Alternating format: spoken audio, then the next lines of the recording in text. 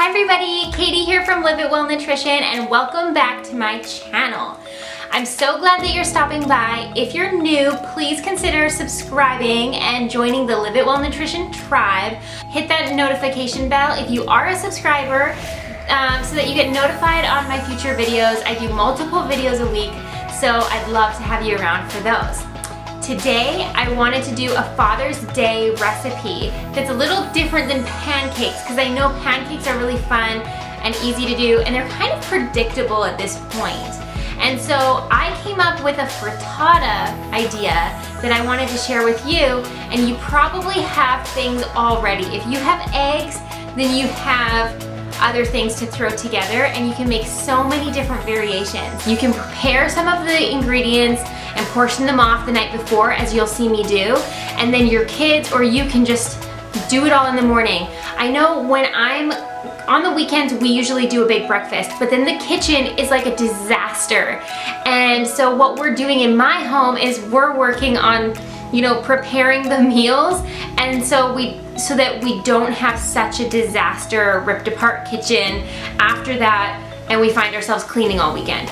So if you do this on Father's Day and you prepare the night before, you're not gonna have all these dirty pans, you're not gonna have all these dirty um, knives and cutting boards and this, that, and the other thing. It's gonna be a really simple cleanup.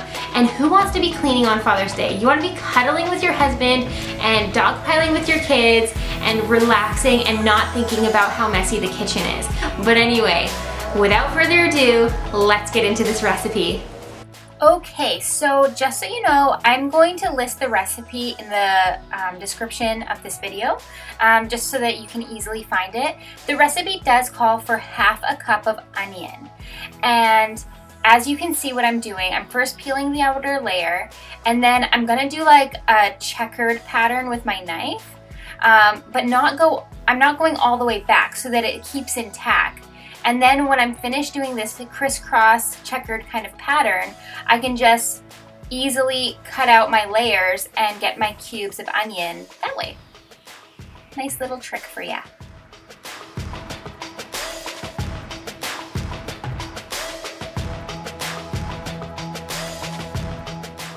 Next, you'll see me just portion it off into my half cup measuring cup and then storing it. So if you're gonna do this overnight, that's what you wanna do, is just store it. In the meantime, I'm gonna start boiling half a cup of quinoa because I need one cup of cooked quinoa, and you just bring that to a boil. Next, I'm gonna start shredding three quarters of a cup of mozzarella cheese. And if your budget allows, try to get organic cheese and also cheese that's been raised without the use of antibiotics because that makes a huge difference in the nutrition that you're putting into your body. And if you're making this breakfast for the following day, then just store it, stack it, and put it in the fridge. By now, the quinoa is cooked and I'm just gonna let it sit.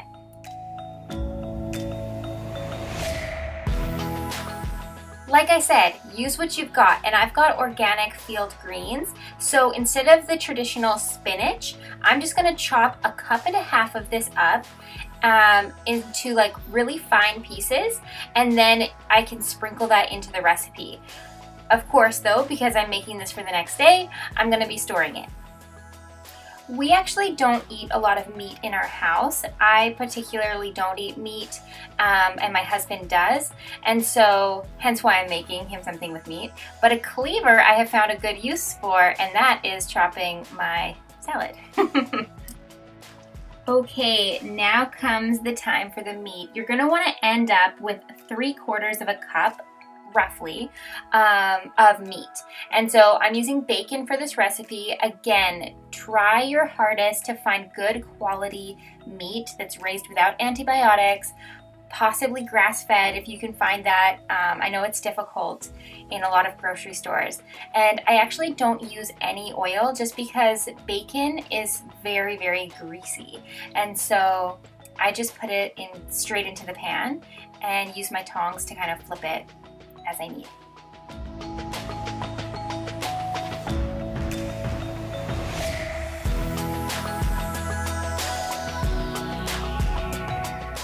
Once your bacon is done, cooked, and cooled, you'll want to chop it into little bacon bit-sized pieces. Doesn't have to be perfect, and I actually cut away the fatty pieces um, and gave them to my very grateful dogs who really, really enjoyed this little treat.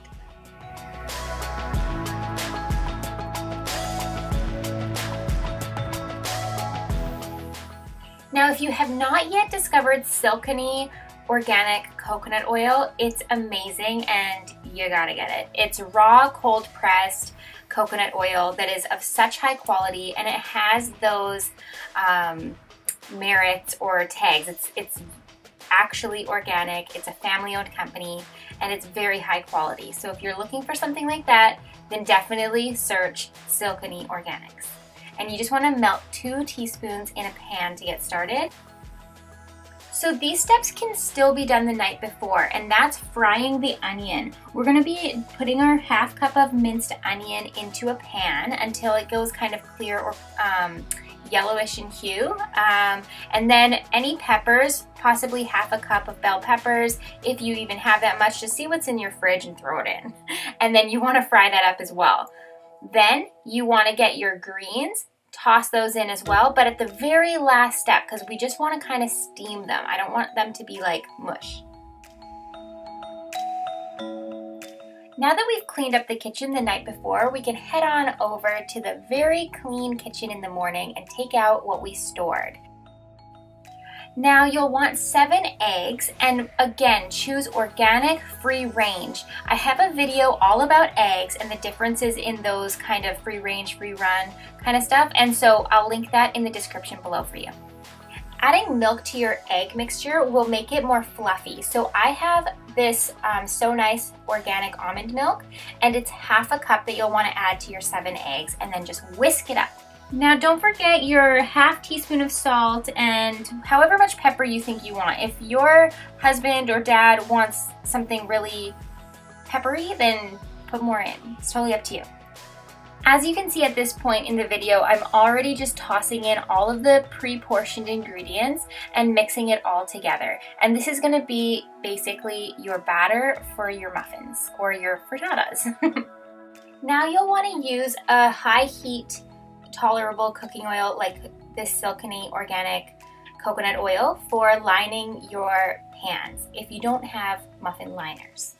Then you just want to throw in your mixture. It's not going to rise a whole bunch and if it does, it will kind of flatten back down once it cools. And with regular size muffin tins, it will make about 20. Okay, so as you can see, it's really simple, it's really straightforward, it's only gonna take you a few minutes. If you do it the night before, you can portion everything off, keep it in the fridge.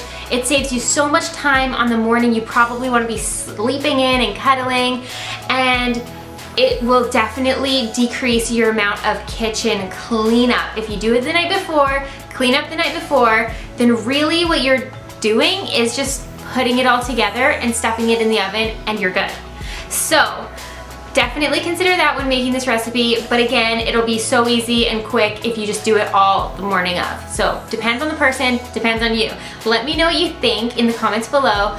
Remember to like and subscribe. I'm counting every follower, you guys. Every time I get one follower, one new follower, I am like over the moon and I tell everybody and I celebrate. And so let's do that. I am still reaching, like I'm at 67 now and I'm ecstatic about that because that grew in the last few days and I'm really, I'm gonna do something to celebrate 100. I'm not sure what, and I know to you guys, it might just be like, Katie, 67 is nothing or 100 is like not a lot of followers. But to me, that is really, that means a lot. So I'm gonna do something to celebrate 100 because that's like a milestone for me, the hundreds I guess. I do multiple recipes and videos and mom talks and stuff like that a week, multiple. So I'd love to have you around for that and have you join the Live It Well family and tribe. Um, but until next time, live it well because you only live once and happy Father's Day. Bye.